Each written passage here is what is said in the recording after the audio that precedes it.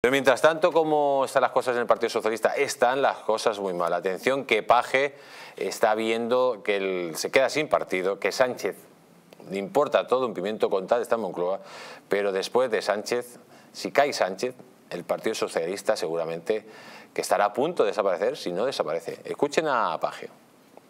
Es que no existen protocolos para gestionar un, caso como este. Yo tengo el convencimiento, de verdad, lo digo en serio, desde el presidente del gobierno a, los cargos que conozco, yo creo que no están en esto para lucrarse. Puede ser que hoy por hoy todavía no sabemos exactamente mm, dónde acaba este hilo de esta madeja y lo primero es saber qué ha pasado. Primero saber qué ha pasado y por supuesto eh, cortar por lo sano y cuanto antes mejor, desde luego. Lo que pasa que lo que más me preocupa ahora mismo es que no parece que las soluciones puedan ser rápidas porque hay demasiada información y creo que va a ir más.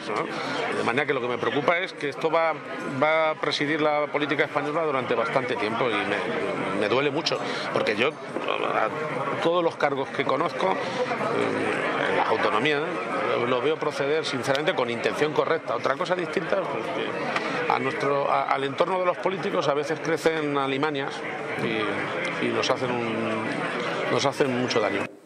Pues ahí tenemos al señor Paje. Eh, el señor Paje está hablando de que esto es el principio de lo que va a salir y que se puede llevar a todo el partido. O sea, en las elecciones europeas puede ser esto em, pues una auténtica catástrofe. Ya pasó en las, en las elecciones gallegas, pero a este ritmo se quedan sin partido.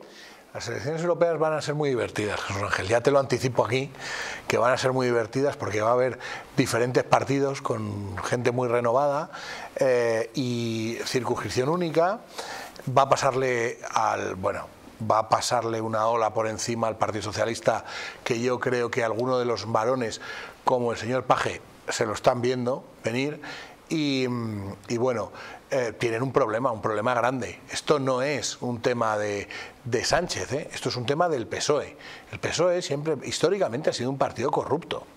O sea, que no nos cuenten ahora películas, que es que podemos irnos... Es que ahora, claro, ahora, viéndolo, viendo los individuos que ha, tenido el PSOE, eh, como el señor Sánchez actualmente, el señor Zapatero, pero es que no nos acordamos de, Felipe González, que ahora ponemos a Felipe González como un estadista, con los casos Filesa, Malesa, Tainesport, que parece que no nos acordamos de eso, pero es así. Entonces, el socialismo es una enfermedad gravísima, gravísima, que deriva en estas cosas.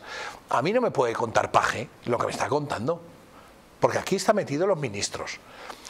Cuando un ministro tiene un negocio, o cercanos a él tiene un negocio, y el ministro llama a los presidentes de las comunidades autónomas o a otros ministros para que le compren algo a un amiguete suyo, eso, aparte de corrupción, es ético, y moralmente es reprochable. No puede hacer eso un político. Pero hombre, ¿de qué estamos hablando? Paje. Y encima dices que, que no entiendes, que no entiendes.